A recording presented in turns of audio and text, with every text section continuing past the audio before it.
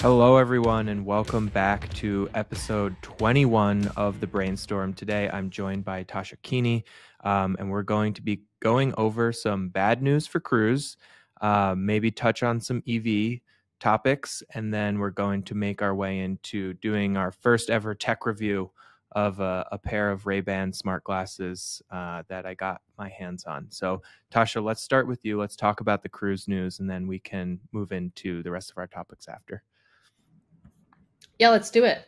Um, so so this week or last week, uh, we found out that um, so Cruise Cruise had been having some issues, and for background, Cruise is General Motors' autonomous car unit um, within the company. It's a company they acquired, runs as a standalone unit, but still part of broader GM. Um, so you know th- that unit had a lot of promise. Like Cruise and Waymo were the two U.S. companies that actually started robotaxi service commercially no one in the front seat, passengers in the back, paying passengers, um, at least in a couple cities. But um, recently, they've been getting a lot of pushback in California. And specifically, what happened is uh, their autonomous permit in California was revoked. And it was like uh, kind of building over time, but really what put the nail on the coffin for this was an accident they had. So someone was hit by a human driven car. They bounced off a cruise car and the person was actually dragged 20 feet by the cruise car as it tried to pull over to the side of the road. So that's uh, not good, clearly. Um, you know, I do think on average autonomous vehicles will be safer than human driven cars, but um, it's headlines like this that can cause, you know, knee jerk reactions, which I think is what we're seeing um, that lead to unfortunate events. And then after, they got that license revoked. At first, it seemed like they were just pausing um, operations in California. The surprise at the end of last week was that they're actually pausing operations all over the US. So, no robotaxi operations. You have to have someone in the front seat of the car, at least for now. It's, it's a big disappointment. So, they are self enforcing this ban, right? It's not, uh, it's not coming from regulators. So, the fact that they're pausing all over the US, yes, is their personal choice but okay. you know, my guess is that it's influenced by something that they're hearing from regulators, right? So we, we right. know the California ruling, but uh, I mean, this is just such a setback that you're, I don't know, you're not doing this un- unless you feel like you have to for one reason or another. So do you think maybe they saw something in the way that it reacted that they said, okay, we need to really assess this situation. We may have a bug in the code or, you know, something went wrong that could happen again or you think they're just being extra precautious given the nature of, you know, the way regulators are viewing this space currently? Yeah, I mean, my guess with the information that I have now would be that it's something that they're hearing from regulators that says, uh, you know, we're not on their good side mm-hmm. we really need to get on their good side in order to progress further um, versus something technically wrong. I mean, again, I'm not going to gloss over the fact that someone was dragged 20 feet. That's absolutely horrific, right? Um, right. In, in general, so, you know, and I've looked at the accident rates across autonomous cars. And compared to the national average, it looks like, um, you know, so the national average is like what people report. So Waymo and Cruise both, both adjust their numbers for what people would report because with an autonomous car, like you could touch it and that could be counted as a collision. Um, but so those adjusted numbers, um, Waymo actually looks slightly better than the national average, but Cruise does not. Um, Cruise hmm. is like, you know, I think it's you know an average an accident. There's roughly half a million miles per accident in the U.S. nationally. For Cruise, you know, cut that number in more than half, roughly. Um, and uh, the reason I think it looks bad is because one, I you know I, am sure that there are sort of like collisions, but I've you know, and Cruise says this and and what they publish as well that these are these are lower speed. Um, you know, they're not as significant accidents. The problem with what happened with this one particular person person is that you know this looks like a significant accident, right? Um, right. As, but generally like once you're driving below 30 miles per hour your p- chances of killing a pedestrian go down dramatically so that's the promise of autonomous cars that they can obey the speed limit um, you know they react faster than human drivers we think they'll be 80% safer on average um, but you know this is a setback for cruise in particular and and really like i'd say cruise and waymo because you know cruise potentially was pushing waymo to move faster than it otherwise would have um, and now they're halted. So. And then maybe just taking a step back, can you? So you talked about Cruise, you talked about Waymo. Where does Tesla fall into all of this? Do you think you know this puts Tesla on the hot seat in any way, or is this just entirely separate because they're already running these uh, you know networks and Tesla is still you know not or isn't there yet? Great question, Nick. Uh, you got you got to my favorite topic, Tesla. I always want to talk about it. It's a top position in so do I. funds. That's why. Yeah. yeah so do I. right. Um, so so yeah, I I mean, I think that Cruise and Waymo are kind of paving the path for Tesla because you know they so Tesla doesn't need the same approvals that these other companies need because they have like street legal cars with the sensors that you know Tesla mm-hmm. says are capable of turning them into fully autonomous cars through software updates. Um, so you don't need, you know, I think when they when you start taking people out of the front seat, yes, you will need approval then. So they haven't done that yet. Um, but up until then, you know, they can run it as like a, a driver assistance, uh, basically like the most advanced driver assistance system on Earth, right? Um, until that point, and um, make a lot of progress along the way of course, you know, and and you know, for background, we always talk about this, but Tesla has a massive data advantage because it has millions of customer cars on the road compared to hundreds at Cruise and Waymo. So a lot more data to train the system.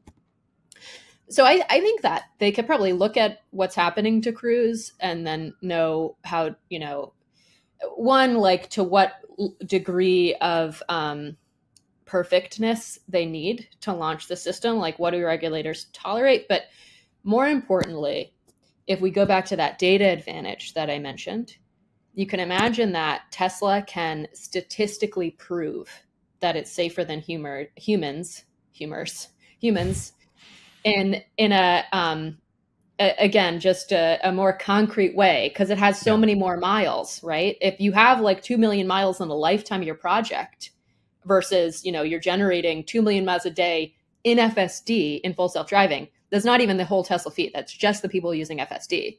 I mean, that's that's huge. So it's just yeah. again statistically probably going to look better, um, and they have the the opportunity to be not first to market and kind of learn from everyone else, but maybe first to scale.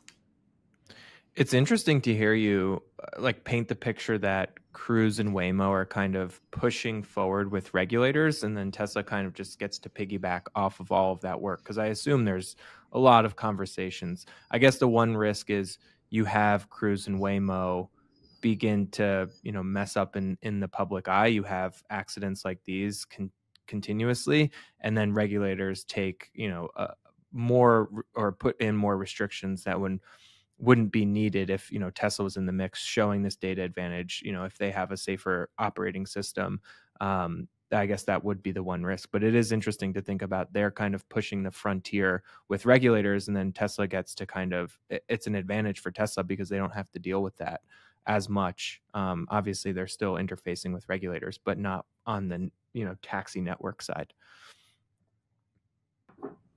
Yes. Um, apologies. My my dog's next to me, and I just had to give her a little bit of peanut butter to to satiate her while while we talk. Um, so you might hear some rattling next to me. But um, so this is this is live. Um, so yeah, it is interesting because historically Tesla has been painted as this black sheep. In other words, people have said, "Oh, they're putting such dangerous capabilities in the hands of uh, you know commercial vehicle owners." So I, I think that um, I, I don't think it's a good thing but it, like I think Waymo and Cruise kind of being more aggressive with their expansion plans, and particularly Cruise have been super aggressive. Like they keep it's city after city that they're announcing, mm-hmm. and they say that they can launch in a new city in you know three months now, a city that they've never operated in before. So that's a pretty big improvement from you know it took them years to launch in San Francisco. Yeah. Um, so it is an interesting, slightly tilting of the story that now these other players are, you know, being criticized for safety, and safety is important, right? I, I don't, you know, I, are arguably like yes we should talk about all of these accidents because they matter um, but again again i think the bigger picture is that autonomous cars are going to be safer than humans so i think it's just an unfortunate setback um, but yeah i mean uh, it's not it's not just tesla that's that's being looked at by NHTSA it's all of these players um, and i expect it to to, there will be a high level of scrutiny on these systems, um, but are they the right, uh, you know, pathway forward for personal mobility? I, absolutely, I, I, have no question. Yeah. And speaking of setbacks, maybe do you want to just quickly touch on this other EV news related to to GM here, um, and also you know related to Tesla? Uh, maybe just touch on that, and while you do it, I'll I'll get my glasses set up, ready to go for the next segment. Great, can't can't wait. Um, yeah, so the other news that we got is that um, GM is reneg. I'm not sure if you hear the peanut butter bowl next oh, to me, but yeah, it's very I, I, exciting. Yeah. The, okay. the, peanut butter got got your dog very excited. okay, right. Uh, she loves to make cameos. Well, um, so GM reneged on some of its promises for EVs. Basically, they pulled back some of the, you know, the forecasted numbers that they had to produce electric vehicles. You know, we saw other players like Ford kind of making similar comments. So the story is that, like, people always thought um, traditional automakers are going to crush Tesla because they have so much more scale. They produce so many more vehicles per, per year. Like, sure, they're behind on EVs, but when they get there, they're going to come in strong and it's going to happen way faster than you think. That's not happening. And the reason is because battery architecture is so different than a gas powered car that that's what you need the expertise in the battery scale um, and the battery pack scale, which is what Tesla, you know, players like BYD um, in China have. Uh, that the traditional automakers don't have. It's like a totally new mm-hmm. technology that they're scaling up. So yes, they're like manufacturing titans, but they have to totally reconfigure their manufacturing line to make EVs. Um, and the fact of the matter is, is that a lot of these EVs at traditional autos just aren't profitable, uh, like they are at Tesla and other players. Um, so, so that's the issue that you know in today's macro environment, um, you know, you have to satisfy your shareholder base, and uh, you might. I, I, don't think it's the right decision to pull back on these investments, um, but I, I think that's ultimately what's causing it. Yeah, really interesting. My personal uh, grievance with traditional automaker EVs. This is just purely my own personal opinion. Why do they feel the need to make their electric vehicles look like they're electric vehicles? I think people have come accustomed to like the way a BMW looks or the way a Ford F150 looks. But because they are now EVs, they make them look like they're running on electricity, which to me is just like just make the traditional BMW Ford F150. Don't make it look any different than what you know a gas powered one looks like and just sell that. I don't know why they have to do this whole EV marketing. Like just sell the cars that are selling for you and just make them electric because that's what the consumer prefers. It's very interesting. Yeah, it's there's there's a couple things that I would comment on there. So one, um, traditional automakers have outsourced so so much of their operations to other piece of the of the supply base, but the one thing that they keep in house that they're very proud of is design. So I, I think what you, I think, Whoops, just took a shot right at there. so I, I think, Sorry. I think you, so I think what you could be seeing is, you know, they want to show off that design capability. They say, "Well, okay, we're late to market, but look at what we can do." And yeah, I mean, it's maybe not satisfying all of consumer taste. And, and the other thing that, like, to this point, that I would say is like, we don't think electric vehicles are going to be you know it's not it's not the the look the feel although you know i think the look the feel of a tesla is great. I personally have one i love it. Um, I, I, do think it's going to be it's it's the price that ultimately matters and it's sticker yeah. price right? On a total cost yeah. of ownership basis evs are cheaper but the sticker price is what matters um, and, and that's what we're seeing talked about most now. So um, yeah i mean I, I agree with you so. Yeah just you already nailed the design on your previous vehicles. Just turn them electric. Is I guess my point. Um, I hear but moving on, you. moving on. Okay, so we've talked about the Meta Ray Ban glasses before, I believe, in a prior episode. Um, I got my hands on a pair. I went out and purchased them, research purposes only. No, I actually thought they were very cool. Um, I have the pair here. I want to show them off because I think I haven't had a moment with a pair of or within consumer hardware since maybe my you know first purchase of a smart smartwatch where I was like, oh wow, this actually has use case. You know, the phone was I think a big moment obviously for everyone and you can see what the iPhone has done to the industry. Then it was, you know, what's next after this? We got AirPods, smartwatch and now it, you know people are searching looking around what's next what is the next computing shift um, on the consumer side and I'm going to take a leap here and say that this is the first time I have felt like, okay, a pair of glasses could work. Um, there is no, this is not, uh, I would say, your traditional AR pair of glasses. There is no augmenting of, of a screen. There is no screen. It really just functions as a pair of sunglasses. Um, but what is interesting and unique about it is one, you have uh, a camera, um, a very good camera. I'll maybe uh, take a picture or uh, try to put a video in in the, the YouTube version of this recording. Um, but what is I think really unique about these are uh, Meta has embedded Meta AI, which is their Llama 2 powered uh, AI assistant. Um, so if I I don't want to say Hey Meta, but I'm going to have to. As I say Hey Meta, I'm prompting the AI and I can ask it questions. This is all being relayed into the cloud. I assume at some you know generation of these glasses, you'll have you know an on-device uh, large language model, which I think would be a very powerful assistant for everyone. Um, but just having you know played around with these now for a weekend, one they function great as a pair of sunglasses because they're made by Ray Ban, um, and that's been Meta's whole stance. Hey, we're going to we're going to let the experts in sunglasses make the sunglasses and we're going to you know put in all of the fancy hardware um, it's got a great set of uh, speakers so it functions as you know airpods i can listen to music podcasts, whatever. Uh, I can make calls off of it. Um, so there are just general use cases that I think take away from AirPods or, or headphones. Um, but then you have, you know, a camera and then also an AI assistant. So it's not your pure AR pair of glasses, but the functionality of it just layered on to obviously it's just a pair of sunglasses makes me feel like oh i'll actually use these more than just a few weeks and then put them in a draw which i've done with you know vr headsets time and time again and i've actually had uh, i think i had snapchat's first pair of, of lenses where it felt a bit gimmicky and, and, a bit too niche. This feels like oh i can actually record video um, it's hands-free computing to a certain extent and i just can really feel where this is going and i feel like meta has actually kind of nailed this product so i'm super excited yeah. So t- tell tell us about the form factor. So yeah, I mean, glasses like everyone needs sunglasses. There's something right. that we already use, but what do you you know we talked about this a little last week. What do you think of like you know the potential of Apple to do some like put a camera in the earpods? Like how does that match up with this?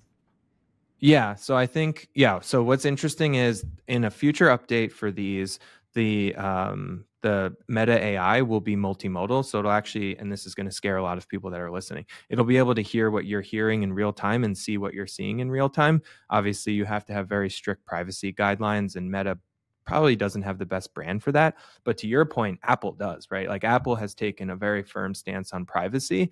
And I don't know that I'm fully set on glasses being the form factor that everyone uses. I actually think it could be that you have this um, AI powered assistant with you and it's actually ubiquitous across different wearables. So when you do have your, you know, sunglasses on, it, your your your AI assistant is in there. Um, when you have your AirPods in, your AI assistant is also there. So it's kind of just this ambient computing that's taking place in whatever wearable you're wearing today and in in that moment. And I think that is kind of a future I hadn't really considered, you know, I think everyone was very dead set on there needs to be a screen, it's going to augment what you're looking at. And now as I've been playing around with these, I can see two avenues. One where people still go down that road of we want to augment what you're seeing, but then just a voice based uh, version of some of these wearables where the AI assistant, because they've gotten so good at understanding us, being able to actually use a Siri that was smart. You know, that that's a promise I hope Apple can deliver on. Like I want Siri to be able to answer some of the questions I've been asking to Meta in this pair of headsets. And then I think, you know, Apple has a whole new uh, product on their hands. Um, so I think it's going to be a voice based uh, avenue of you know hardware, and then also people are still going to be able to uh, build for a screen, you know, augmenting a screen. But I think that that that future is much further off because of how much additional hardware you have to pack into a pair of uh, of glasses for that. And these glasses only weigh 48 grams. I've I've given them to a few people, and people have not complained about the weight at all. I I can't really tell the difference between this and, a, and another pair of glasses. Right. So glasses are kind of like more forgiving of the stuff that you need to put in the frame, et cetera, to actually make this work. And I don't know, it kind of seems like because, you know, Meta has this um this this AI expertise. That that's another advantage that they have over other com- over you know a company like Apple that may be great at making consumer products, um, but just doesn't have that in-house AI talent. Yeah, I think uh, in Meta's last earnings call, they noted that Llama 2, which is their, this is open source, so any developer can download and, and use this and build on it, train it, um, and, and, and play around with Llama 2. It's been downloaded over 30 million times, and, and that was a, a period of time they gave. So it been downloaded more than 30 million times, but they were claiming that it is the most widely used uh, large language model out there. And that's not to say that uh, it has more users than ChatGPT. It's just that developers are interacting with it more because of the open source nature of Llama, 2 versus some of these other ones, which are, uh, you know, walled garden. And it's an interesting thing to say about Meta too, right? Like Meta is known for being in the advertising world a walled garden. Um, and now they're taking this open source approach in AI, which is you know probably another topic for another day but yeah just really interesting and yeah this is i think the first time i've been excited about a, a pair of consumer uh, glasses ever. I mean it, like the hardware itself is just incredible. Yeah and then i guess meta gets like the data capture you know m- with multimodal models yeah like uh, video text you you get all those or in this case like uh, audio you you get that advantage from that. Like do, do you think that they'll sell a meaningful amount of these such that they'll have a real data advantage there?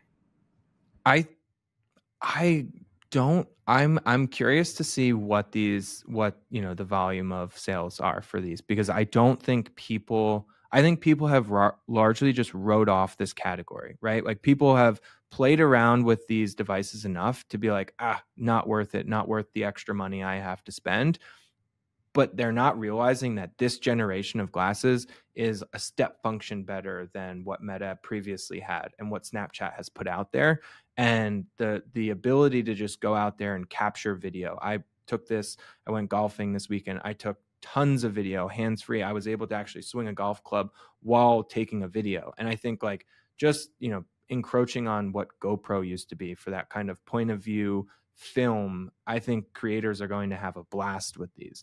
I think there's so many different ways to play around with these for creators and and and that like I hope people realize what Meta has put out there, but I don't know because I haven't heard a lot of like it, it was hard to find reviews about them. There were only a handful, and then you know I kind of just took a shot and said, oh, let me you know let me try them and I've been blown away. Like I, I hope I'm not overselling them, and you know, someone listens to this, goes out and buys them. they're like, no, they sucked. Um, but I've had a great time with them. I like totally see the use case today, and then I can see where it's going in the future when you embed more ability through the AI. Just you know, being able to. Sp- I feel like I'm, you know. Uh, in in Marvel, I feel like I'm Tony Stark, like with Jarvis talking in my ear all day. It's it's it's pretty cool. okay, so that that leads me to my next question. But yeah, first, I you know to your point, I think it's like that's another advantage of having them be like more average looking Ray Ban sunglasses. It's not like, hey, talk to me about this crazy Google Glass that's on my face and looks so bizarre right. compared to what I would normally wear. Um, but uh, yeah, so what do you use the AI assistant for? So I, I mean, I've been asking it questions ranging from like, can you give me a recipe for uh like a pasta dish? I've been asking it like when I was golfing, I was like, how what is the average distance a golfer gets with their nine iron or you know just like those common questions that come up through throughout the day instead of taking out your phone asking siri getting a response and just seeing kind of the sources, it just feels a bit more natural to have that conversational flow. And there is also like a context window. So you can ask it a question, come back and, and kind of just follow up with the question. So you get that same feeling you get when you're interacting with ChatGPT, where you you feel like it understands you to a degree that when you're talking to Siri and Alexa, that's just non-existent right like you you try to use siri and alexa for so many different things and you're like this just is not worth my time like i'll just search it on the web. This is i think much better at being able to hold a conversation and so like i'll ask it the temperature outside i'll ask it you know what time it is just kind of those questions i have throughout the day um, and then i think kind of that you know again another step function change in how it will be used is once it's multimodal. So if it's seeing what i'm seeing Uh, the example they gave at the demo was you're you know in New York City, you're looking at the Empire State Building. Hey, uh, Meta, what is you know this building? Can you give me some historical context? Or um, yeah, I think you could you'll be able to have in, at some point real time translation. So if we were speaking, you were speaking in a different language to me. In theory, again, not today, but you would have real time translation. So like I think there's so many different ways that this can go that really actually excite me and that you know hadn't been the case when i played around with other devices of this nature so it's basically like it's replacing all those times that you'd want to google something and pull out your phone and it's like more integrated you know it's like you're not as rude at a restaurant taking out your phone to stare at it it's on is on your face so it's like well it's on your face that's a, a bit more of a hurdle to actually do that but yeah. it has that added benefit and I think what will be really interesting, and this gets beyond, I think, just the hardware, but once you're able to have your AI assistant, once it becomes a bit more personalized, so it does have like a larger context window, it has kind of lived with you for a while, it understands you. But then imagine having that AI assistant be able to go out and act on your behalf. So if you've been wanting to plan a trip, instead of, you know, booking a hotel, flights, Ubers, of you know excursions whatever it is that you want to do imagine your ai assistant instead of just what it does today which is just prompt you hey here are some ideas. Here's you know it just goes out and actually books all of that for you. Like i think that is a very real possibility um, and like a very real future we'll be living in and, and not too far. Uh, like i think that'll happen in the next five years. I'm I, i'm like very convinced that that would be a, a, game changer for most consumers like just a travel agent in your you know headset or phone wherever it may be. I think like to me that makes a ton of sense. Personally maybe because i hate booking travel and stuff but it's like i think you can imagine like okay i'm prompting this i'm getting answers back but now imagine i'm prompting it and it's acting on my behalf. So it's booking that restaurant reservation i want. It's reminding me that you know my uber's two minutes away and that it, it booked it the night before. I think mm-hmm. th- that's where it becomes really interesting as like a true personal assistant living with you every second of you know your waking day. So so then it's maybe replacing multiple but yeah. Yeah. Sorry go ahead. uh, well then it's replacing multiple things. It's like my notes app the alarms that i set the reminders that i set. It's sort of like this all in one application. The travel is a very uh, close to heart example for me to um, having a, a, virtual travel agent because i tried to use bard to um, help me book restaurants on a vacation that i went on recently and it hallucinated and i sent the hotel non-existent restaurants and there was a bit of a back and forth about it. So i, I hope that llama 2 is, is better at that feature because I, I need that yeah, there's obviously we're talking about a future that is very idealistic when it comes to AI, and there's a lot of hurdles I think to get to where we are, what we're talking about today, and where we actually are today. But I think that future is you know very exciting, and I can see the different form factors that allow for that type of interaction with AI to happen more seamlessly. Like if I had to take out my phone and hold my phone up like this every time I wanted to do it, to me that just doesn't feel as natural. It's just we could be having this conversation and I can just go on mute and I can just have that conversation in the same way we're talking with, you know, it's just picking up off the mics that are actually right below the lenses here. So I think it's just, you know, interesting new ways to embed AI into products. I really hadn't considered um, to be, you know, potentially the, the form factors until having played around with these with these glasses. So pretty exciting times. I think uh, yeah, if you have the means to check out this, you know, Meta Ray Ban glasses. I, I think you'll get a lot of use out of them. Um, and if you don't, please don't comment and and yell at me. I'm sorry. I really like them. Nick Nick can't take the negative feedback. He's too in love with the glasses. Yeah, exactly. I'll just yeah. yeah, just you know, leave, leave me alone.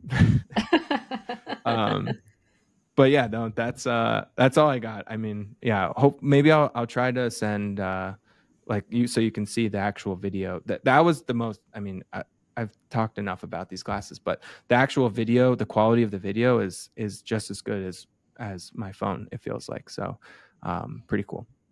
That's amazing. So it's like it's like the first like extremely useful wearable since i don't know maybe like the apple watch or something. It's like totally expanding that yeah. category. That's what it feels like. It feels like people that are strapping gopros to their head and to their chest like just buy a pair of these glasses. I please like you'll you'll be like oh th- yes this is way better. I don't know how sweat proof they are so if you're doing like that that's where i'm like they need to make them a little bit more rugged. I don't think they're fully waterproof but um, for that type of video capture um, it's pretty stunning. I'll, I'll i'll i'll send a video so that you don't have to take me for my word you can actually see it. Great. Okay. Can't wait. Yeah thanks tasha for coming on um, thank you everyone for listening and yeah, again, if you buy these glasses and hate them, don't comment in the YouTube. I I will disagree with you. I was good to see you, Nick. Yeah, you too. Bye, everyone.